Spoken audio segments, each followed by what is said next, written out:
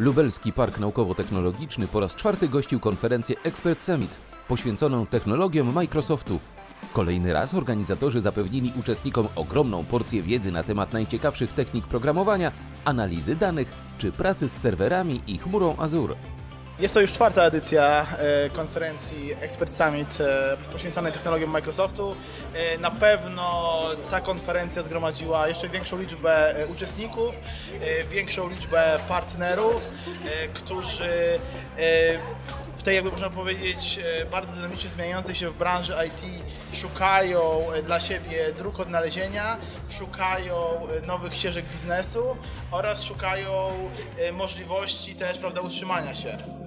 E, Bardzo szybko zmienia się rynek narzędzi, bardzo szybko zmieniają się usługi, e, bardzo szybko rozwija się cloud, no i w związku z tym potrzeby przedsiębiorstw, e, małych, średnich i dużych, które są partnerami naszej konferencji, się, się, się, się że tak powiem, zmieniają.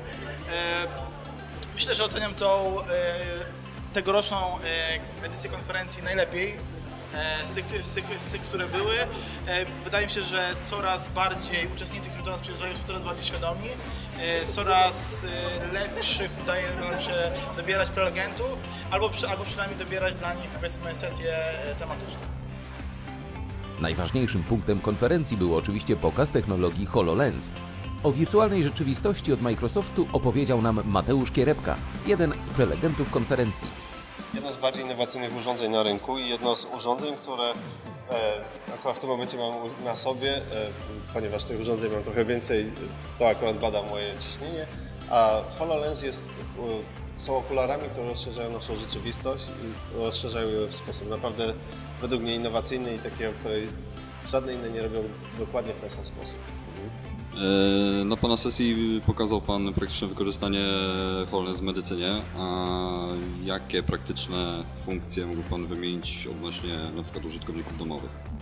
E, Jeżeli e, mówimy o użytkownikach domowych, to z praktycznych, ciekawych, nietypowych rozwiązań IKEA mogłaby być takim dobrym, jeśli nie ma tutaj placementu, ale ogólnie chodzi o rozwiązania, które pozwolą na ułożenie sprzętu, całkiem nowe, nową e, dekorację danego pomieszczenia lub też wizualizację całkiem nowych budynków. To jest coś, co użytkownik końcowy może zobaczyć e, z e, innego całkiem punktu widzenia dla gracza. No, rewelacyjnie gra się w tego typu okularach na Xboxie, Xbox One. Jak uruchomimy go, to mamy tak duży obszar, jak to jest tylko możliwe. Mamy ekran prawie no, nieskończony. E, Gdyby Pan mógł porównać e, HoloLens do na przykład e, PlayStation VR? Różnice są e, tego typu, że każdy podszedł do tego tematu troszeczkę inaczej.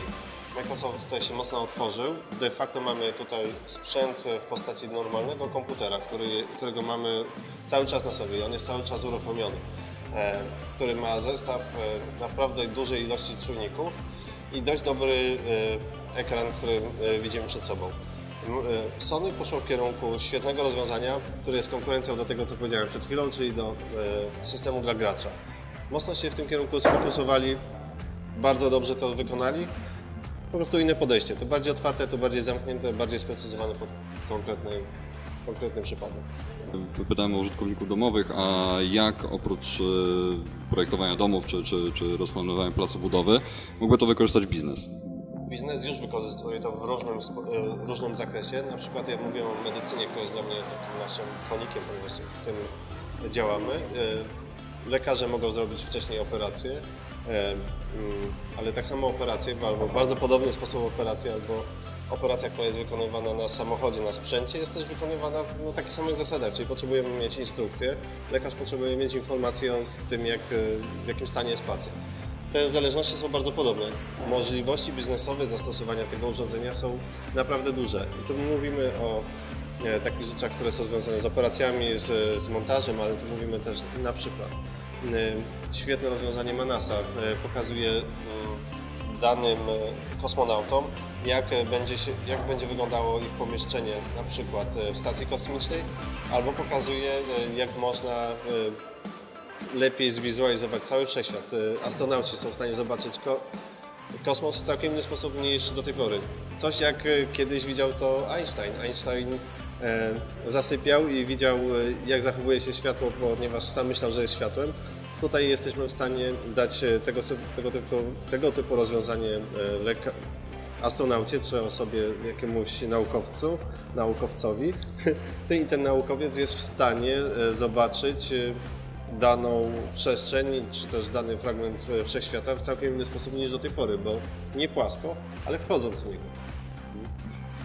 HoloLens na pewno trochę waży i trzymając na głowie przez pewien czas możemy poczuć się nie, niewygodnie, więc jak oceniłby Pan właśnie wygodę użytkowania HoloLens?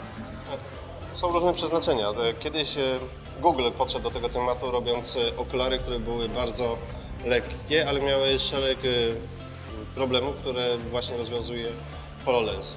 Rozwiązuje je w ten sposób, że dostajemy znacznie więcej, ale to więcej jest obarczone tym, że faktem, że musimy coś nosić na sobie, coś cięższego.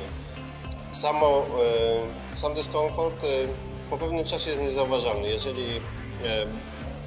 e, gramy, jeżeli jesteśmy zaangażowani w jakiś wszechświat, oglądamy jakiś wszechświat, e, przeglądamy encyklopedię medyczną, nie zauważamy tego, ale faktycznie po 3 godzinach, tak jak jest w stanie wytrzymać ten, e, to urządzenie, czyli HoloLens, czujemy już dyskomfort na 100%. Czasami jest już to po 15 minutach, wszystko zależy też od e, siły naszych mięśni i od tego, w jaki sposób je założymy. Jeżeli je założymy w ten sposób, że mamy jeszcze dodatkową opaskę na głowie, to jest ten dyskomfort bardzo mały i niezauważalny, ponieważ sama frajda i to, jak używamy tego urządzenia powoduje, że zapominamy całkiem o tej wadze, ale jest zauważalne, jakby jest. E, Jak to wygląda cenowo? Jak, e, ile, ile to urządzenie kosztuje w wersji biznesowej dla użytkowników domowych? Czy, czy jest też taka wersja? E, I jaką drogą można to urządzenie nabyć? Już to urządzenie, które mamy, jest zakupione w Stanach Zjednoczonych jako wersja deweloperska, kosztowała 3000 dolarów wtedy. Teraz mamy dostępną już na, też w Europie w wersję biznesową.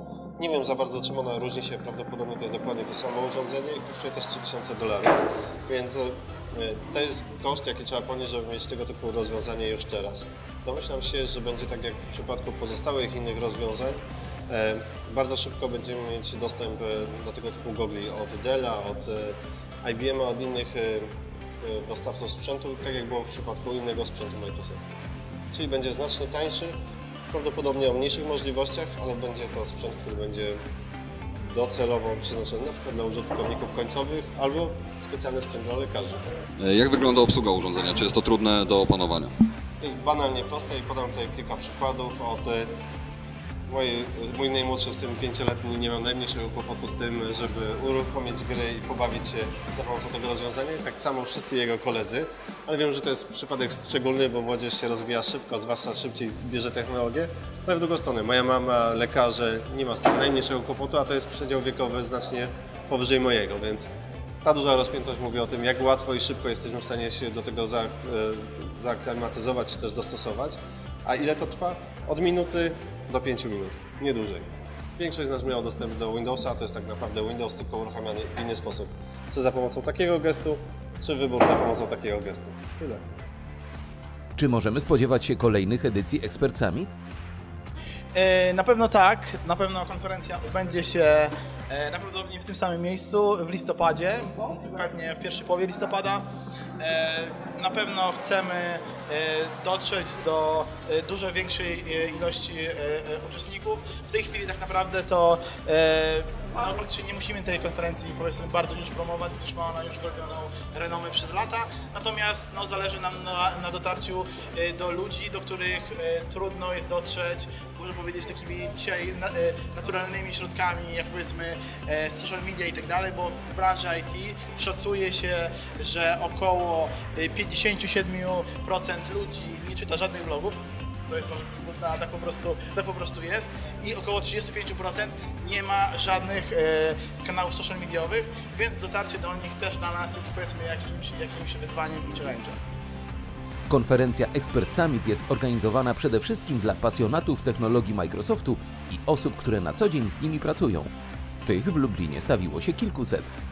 Expert Summit to również możliwość bezpośredniego kontaktu z firmami wiodącymi na rynku IT.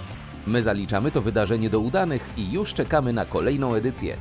Zapraszamy do zapoznania się z szerszą relacją tekstową na portalu Centrum XP.